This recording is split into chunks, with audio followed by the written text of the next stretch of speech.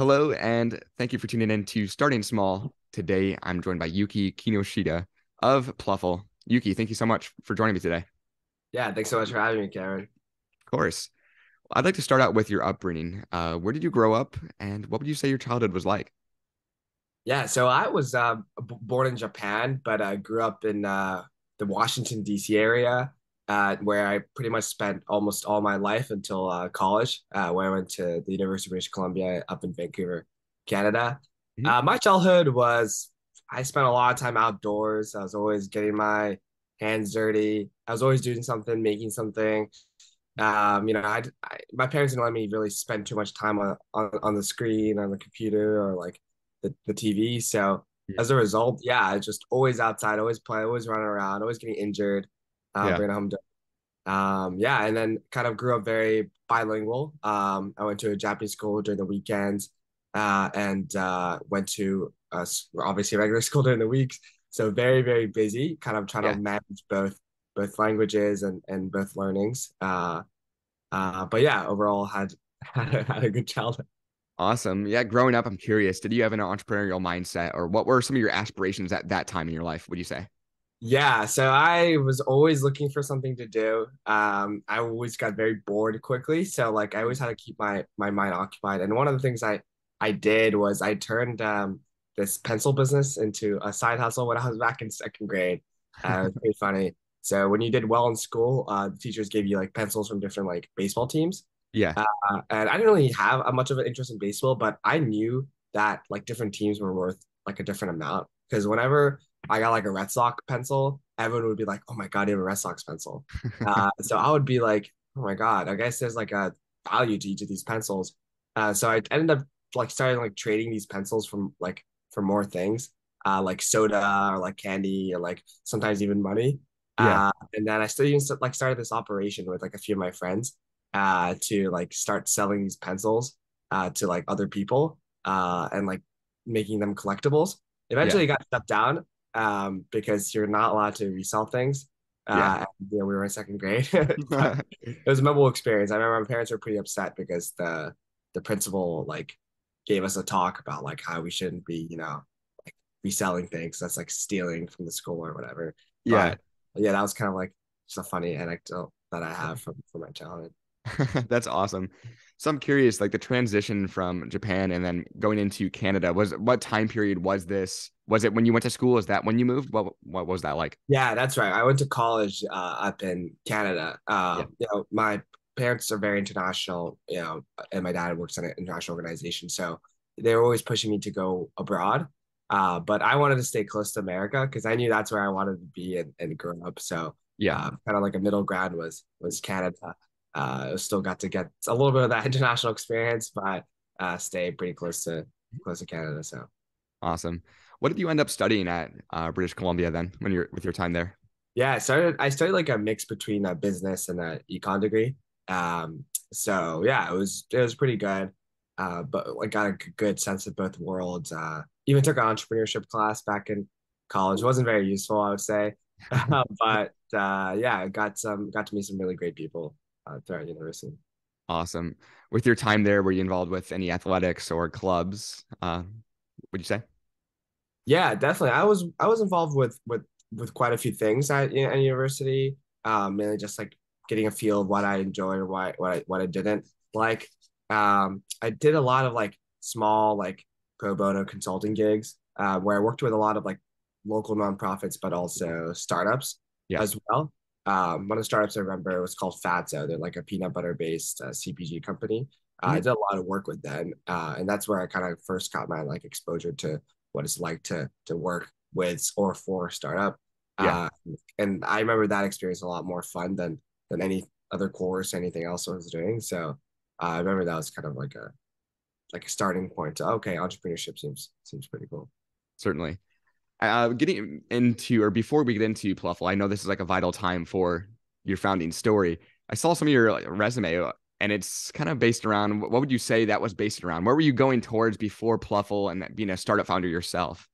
Yeah, definitely. I was probably I was probably like gonna go through the traditional like uh, corporate route, um, Yeah. as that kind of seemed to be like the default of what everyone was doing, and um, seemed to be like what you know my my parents like would have been the most happiest if I had just gone through. Yeah. Um, and yeah, so a lot of like consulting, corporate related experience. Uh, I was going to be working at like Accenture uh, out of New York at yeah. graduation, but yeah, as soon as I had the opportunity to uh, to to work on Plufl full time, which was kind of a dream of mine, um, I just took it and ran with it, uh, and you know, told myself I would figure out how to how to like survive later. yeah, I'd love to dive into that, which I know is like during your schooling time. This is when Plufl was created, and it's really an issue that you and your co-founder faced at your university as well. If you don't mind, kind of share some of that story. What inspired the creation, and especially making it into like a, a dog bed for humans? What what was the inspiration for that? Yeah, the the story actually comes from my my co-founder. Uh, he worked at a coffee shop uh, where there was a huge Great Dane. Uh, you know, Great Danes are big, big dogs. They're almost like the size of miniature horses. Mm-hmm. and uh, he one of his jobs was uh, to take care of the dog. I was pretty old and kind of and had a lot of mobility issues and whatnot. And the, the owners were obsessed with the dog because, I mean, they named even a cool coffee shop after it, and um, and they're just like really obsessive when it comes to their their their like pets. Uh, so um, Noah he took a lot of spent a lot of time with it, and one thing he did was cuddle up uh, in its dog bed with it as like as a way to like kind of like calm it down and just like make it feel better. I don't know. The owners just wanted him to do it. So as well, he was spending a lot of time during his school in this just gigantic dog bed, which is in the back of like this this Tesla uh, yeah. that they had, um, and just like he's just sleeping in it. And he had this moment one day where he's just like, what if there was like a dog bed but made for humans? Like I'm sleeping in this dog bed all the time, and it's not very comfortable. Um, you know, it's not very soft, it's not very supportive. Um, it's just made for a dog. It's not made for for humans. Yeah. Uh, so like, yeah, and he calls me. He's like, "You can just have this like the craziest idea." It's like I'm like, "What dog beds, but for humans?" I'm like, "Oh, surely that exists. Like, surely there's no way that's an idea that that's not that's not available already." So yeah. we both like go on the internet and like look through Google and like Amazon and every single one of these platforms. And to our surprise, like it doesn't even exist. And, and what we find is actually a few people talking about how they wish there was bigger dog beds to begin with. Um, yeah. So we're like, okay, well, there's clearly like could be a market opportunity here. Uh, maybe there's a good reason it doesn't exist, but we feel like you know there's definitely something that we could make here if marketed properly. I could definitely attract a lot of different interest groups. So yeah. that's that's where it all kind of started. I love that. I, would love to hear about kind of like the prototyping process. How did that come about, the research and development, and then where did you guys end up looking for sourcing eventually? Yeah, so prototyping was interesting. Kind of all we just knew was we wanted to make a dog bed, but bigger. Uh, and that's where we started off. So we bought a lot of like dog beds in the markets, see what we liked, see what we didn't like, see what shapes we wanted to incorporate, and just brought them to like a local seamstress we found off Craigslist. It was just like, here, here's some fabric, here's some foam, uh, make something for us. And then she just stitched together this like pretty decent like first prototype, which was not at all like something that could be mass manufactured, but yeah. was like pretty comfortable and validated idea that sleeping on a dog bed, but bigger and like more made more comfortable is actually something that could be good. Yeah. Uh, especially like the aspects of like curling up and like, you know, be able to tuck your hands and feet underneath the, the bolster and stuff like that.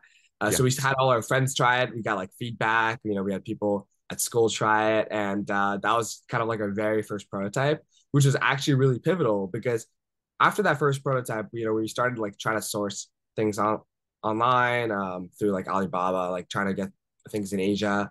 Yeah. Uh, but, you know, we didn't actually make too much progress.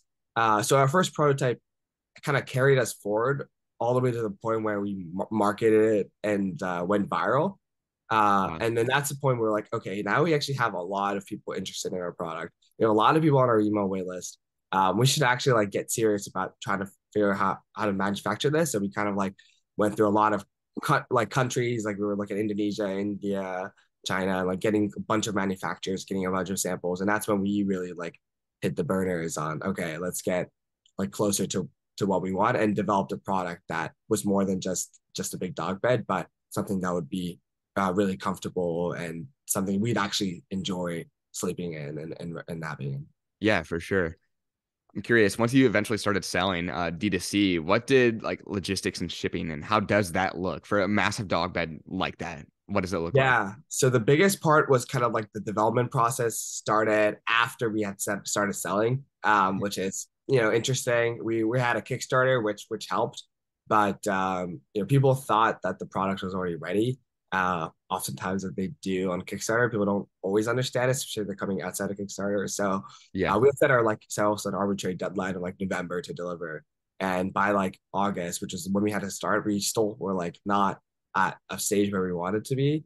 Um, but like somehow we had like figured it out just at like the deadline of like when we needed to ship the boat out to make our like promised or to make somewhere even close to our promised delivery date um, within like December mm. uh, of 2022. And we were able to ship out our very first production run.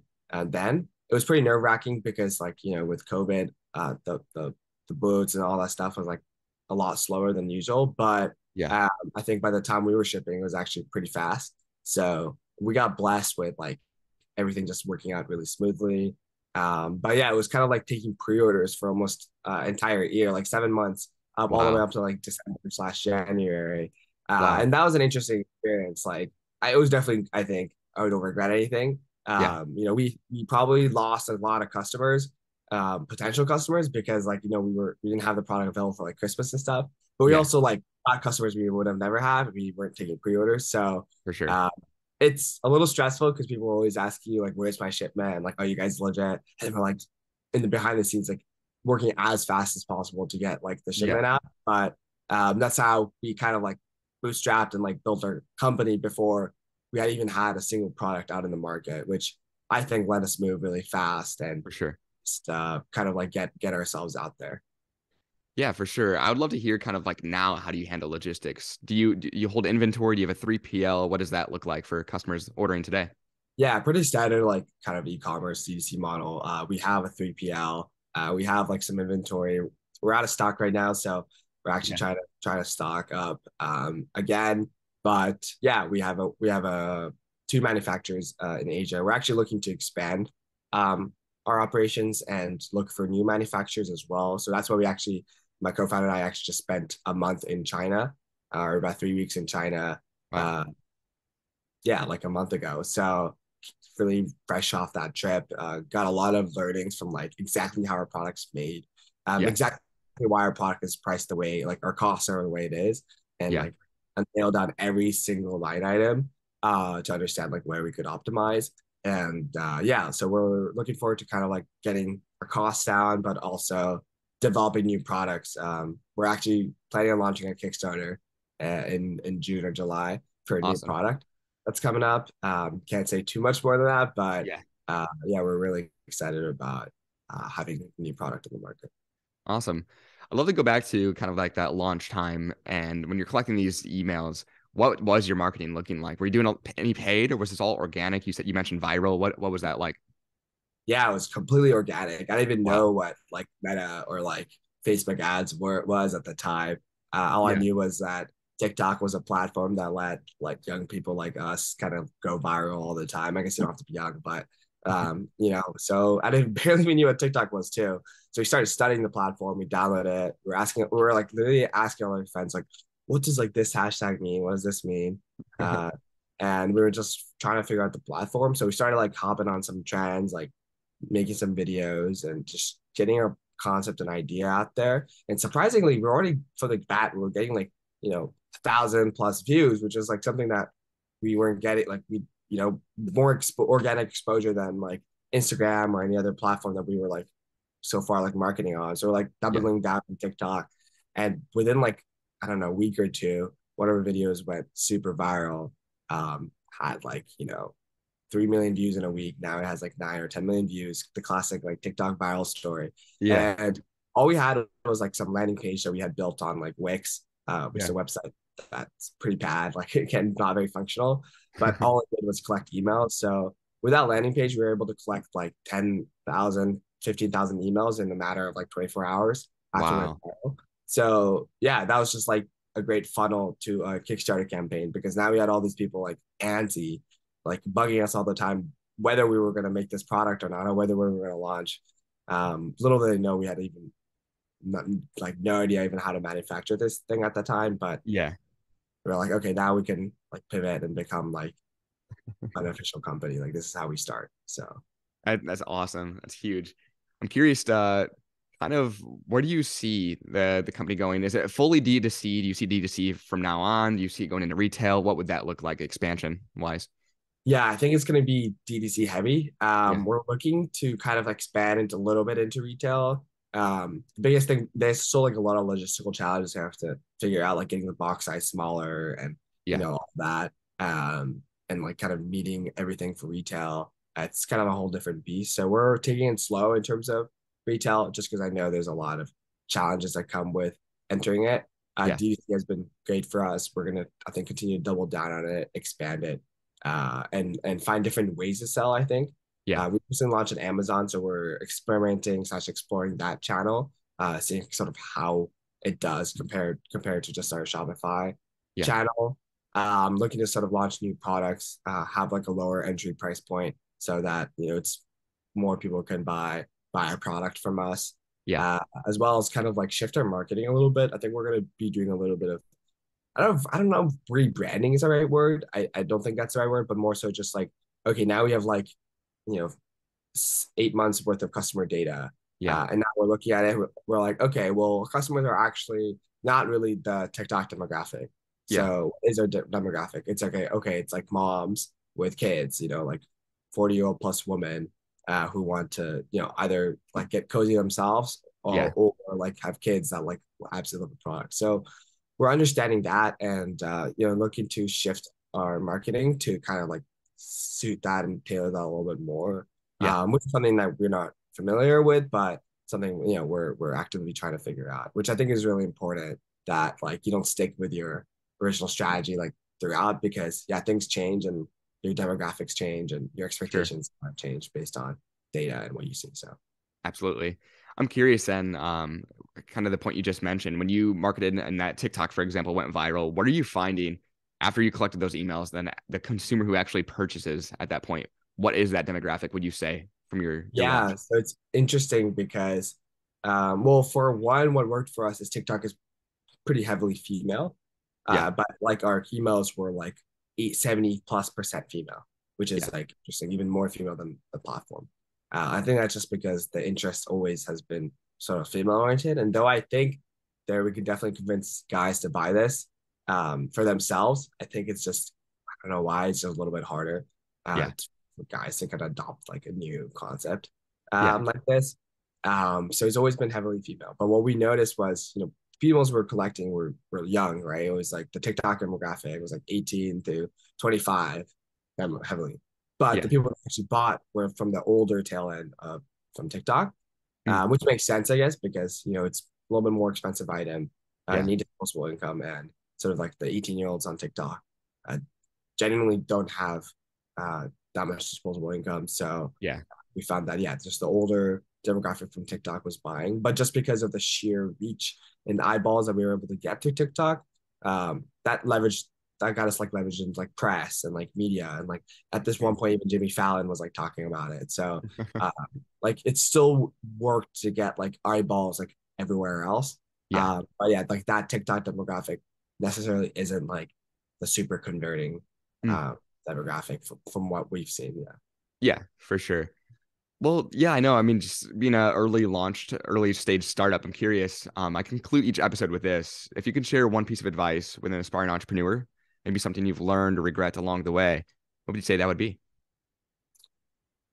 Yeah, I think just especially just move fast uh, and worry about problem solving later, if that makes sense. Yeah. Um, and I think that's the the biggest thing that worked for us, but the biggest thing that could also like really been been the downfall for us. So we took kind of took, took took took the risk and it paid off. But at that time, if we didn't like capture the hype from TikTok and like waited to officially launch our company and all that stuff. I think that a lot of it, the interest could have died down and maybe would have not have been as effective. Mm. Um, so I think we were able to really capture all the interest and maximize like the amount of like customers we were able to get at that point, even though we had no idea how to manu- manufacture the thing because we were just moving so fast and yeah. Um, we didn't really care. We were just like two of us. We are like, gonna launch this. I gotta get things moving. So I would say that's one thing that really worked worked well for us. For sure. Well, Yuki, thank thank you so much for joining me today. And to the listeners out there, make sure to check out Plufl at weareplufl.com.